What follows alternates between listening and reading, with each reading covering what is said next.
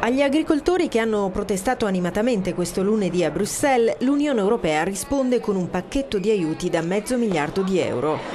Il provvedimento è stato illustrato dal vicepresidente della Commissione, Jirki Katainen, a margine del Consiglio straordinario dei ministri dell'agricoltura.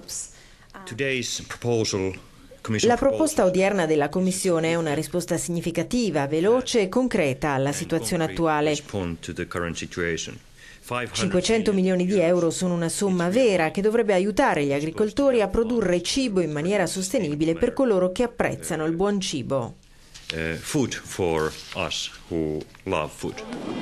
La protesta di 7.000 persone, con quasi 1.500 trattori davanti alle istituzioni europee, ha paralizzato il quartiere comunitario di Bruxelles.